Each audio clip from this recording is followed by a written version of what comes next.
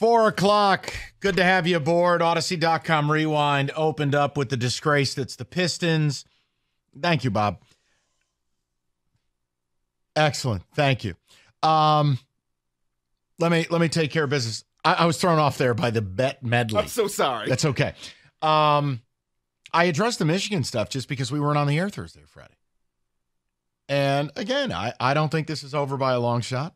I, I it is my belief you'll have another staffer get got. And eventually, it won't be tomorrow or next week or next month, but eventually, yeah, I think I think you're going to get absolutely crushed. So enjoy your Thanksgiving and enjoy your game and pray to God you get everything done because I don't think you're going to like 2024. But whatever. Who the hell am I? Sparty Radio. Mmm. Oh, that coffee's delicious, David. Really is. So, enough about your school. Let's talk about mine for a second. I want to have some fun. Call it a week from today. Maybe a week from tomorrow, but give or take. I think MSU is going to have a new head coach. They'll be at the podium. I don't know. Maybe a week from today, doesn't stay play a basketball game the 28th? Does that sound about right? Maybe bring out the new coach at halftime. I'm about, I don't do coaching searches, right? Like, I, I don't really care about breaking news. It's not my role. I don't pretend. I'll talk in code to let you know when I know something. So, like, let's have some fun. I'm pretty, based on people I've talked to, I'm, I'm pretty confident in telling you MSU's got two guys, and the next head coach is coming from those two. No, it isn't going to be Harlon Barnett. No, it's not going to be Jason Candle. Otherwise, I want to give you the two people. And which one will they hire? I don't get to do the second interviews, but I think it's one of these two guys. And I'll tell you this I don't think either's a bad hire. I don't think either is some some some lowbrow thing to be mocked. I'm not going to do that. But what I'm also not going to do is sell you that it's a paradigm shifting, you know, seismic thing. I will need to see the staff, the NIL plan, etc. Okay? I think there's positives and negatives. The two guys are Duke head coach Mike Elko and Oregon State head coach Jonathan Smith. I, I think it is one of those two guys is going to be hired a week from today. I do. And I don't dislike either guy. It's no secret I like Oregon State. It's no secret. I guarantee you I've watched more Oregon State football than anybody. I've watched more than the search committee. So I don't dislike Jonathan Smith, but you want positives and negatives and then I will I will tell you David. I need to know from Spartan fans if they're available to have a conversation and you. Does either of these guys excite you? Because my my thing is this, understand everything I say comes from a perspective of I don't care about winning 8 games. I don't. I don't really care about winning 9. I care about an expanded 12 team playoff that I need to go 10 and 2 to probably get a piece of. So anything I say comes from a perspective of my belief is Michigan State should be contending to be in that playoff every other year. If you can't do that, you don't get my interest. Now, that doesn't, who am I? They don't cater to me. I only speak for myself. So let me take you through the two guys and you can tell me, and I'm very familiar with both. So this is not hard for me to do. Um, I'll start with Elko. Positives It's a good recruiter. You don't work at Notre Dame, albeit for a short time. You don't work at A&M, and you don't bring in a top 50 class at Duke if you're not a good recruiter. He's a good recruiter. I also think there's a little bit more of a translation for his staff. Some of them actually have some Midwest familiarity. It matters. Elko is a defensive genius. He is. It's just who he is. Go look at the data. Go look at what he did for Notre Dame. Go look at what he did for A&M and go look at what he does at Duke. In game adjustments, this dude's a beast. He's excellent. Quick turnaround with a bad program.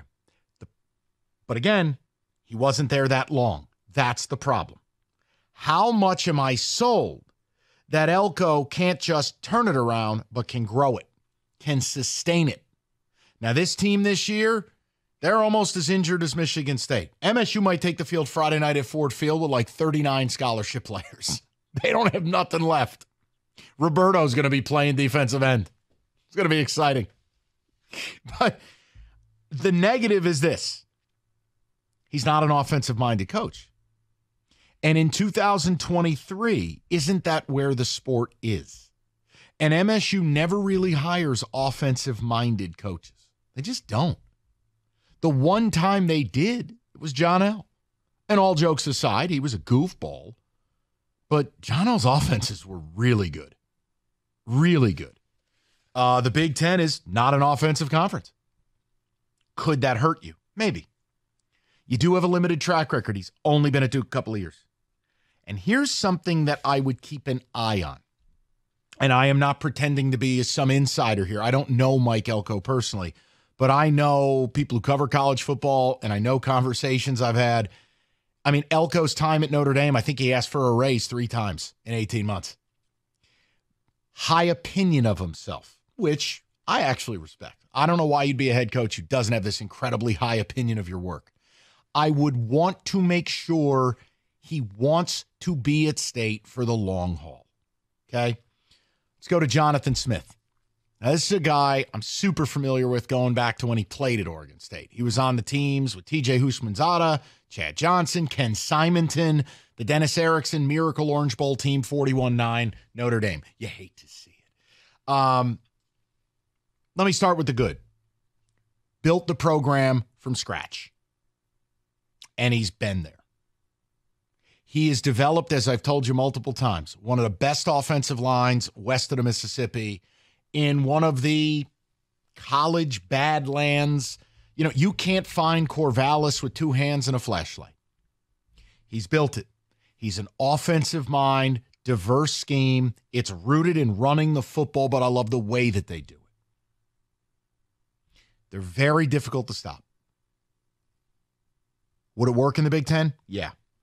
I love his defensive coordinator. Now, I don't know if you'd be able to bring the DC, this Bray, uh, uh, not Trent Bray, it might be Trent Bray. Um, their defense is all about havoc, disguising, pre snap candy, aggression. Um, I love it. Rico and I have talked about it since last year when I turned Rico on to Oregon State ball. Can you get the defensive coordinator come with him? Here's your problems, though. He's quirky. And you're going to go, well, most coaches are weird. Look at Harbaugh. Noted. Bet, as Michigan fans like to say.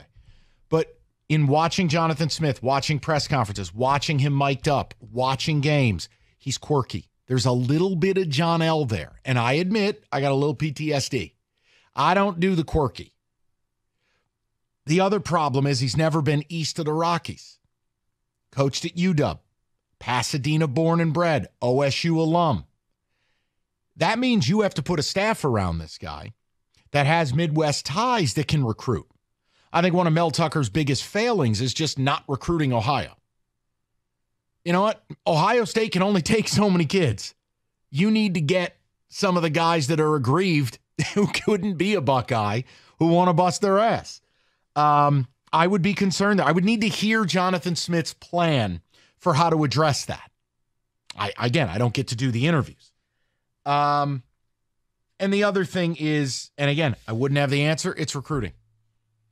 You're at Oregon State, you're not going to get access to big time players. It's really hard to do. Now, I will tell you, he has a quarterback at, at Oregon State I really like, and it's not DJU. He's got a true freshman. His last name is Chiles. I think he's a California kid. He's one of the highest rated recruits to ever go to OSU. They play him one series in the second quarter and one series in the third. Wouldn't mind if he brought him with him. Um, Aidan Chiles. Aidan Chiles. Yep. Um, look, I think both guys are worthy of support. I don't think either's a bad move. I'm not going to slander Alan Haller. I think Alan's actually run a really good process here because there's not a lot of info. I'm pretty convinced it's going to be one of these two guys. But I'm not sure how excited I get. That's not a negative before some of you Spartans get all upset. I'm not knocking it. I can say, okay, like I can nod my head. It's like when Kenny goes, hey, this is what I'm getting for lunch. And I'm like, all right. I mean, that's not zippity doo dah. It's the best idea I've ever heard. but they actually could be really good hires. Does either of these guys move the needle for you as a college football fan, as a state fan? 248 539 9797. I think a lot of it will come down to what their strategy is, who the staff is, and what, if any, because I don't know if you heard, State had some issues with NIL this year. And we'll leave it at that. The point is, what type of payroll can I, can I put this team on? But I mean, David, Jonathan Smith, the offensive minded coach who's never been east of the Rockies, but he's built a power running game, churns out running backs. Or do you want the defensive minded genius? Both guys are in their 40s. We're good there. Which guy? I'm gonna say um, neither guy scare me. Um, the ties, the Midwest ties for Elko and his recruiting abilities. It's just what would the staff look like, and right now I, I couldn't tell what it would look like. Yeah, so I'm not worried about it right now. Right. No, and listen. But Jonathan Smith, the offensive mind, would scare me, but he has no ties to the Midwest recruiting wise. So as of right now, I'm like, okay, I, I just have to see it because he has no connection here. And here's the other thing when you don't have any ties to an area, it's very hard to pick up the phone. You're not hiring a total stranger. Correct. I mean, the last time that happened, Tucker hired Scottie Hazelton. It's you don't just pick up the phone and go, "Hi, want to work for me?" I don't know who you are. Correct. It's it's it's a fraternity of coaches. So, look, I think the next seven. I, I think I think in a week you got a coach. Wouldn't shock me at all if we have a little fun and MSU's got a coach at halftime of a basketball game. I think it's Jonathan Smith or Mike Elko. I don't think that's any I don't think that's breaking news. I don't think it's some crazy thing. But I I actually am quite familiar with both guys. I told you from the beginning, I'm not trying to make Mike Elko a thing. I'm tolerant of it, bordering on accepting. Does that mean I'm over the moon? No. Jonathan Smith, I like. I just don't know if it's a fit here. Yeah, he can build, but what are they giving him to build? Yeah, I have no idea. Yeah. 248 539 9797.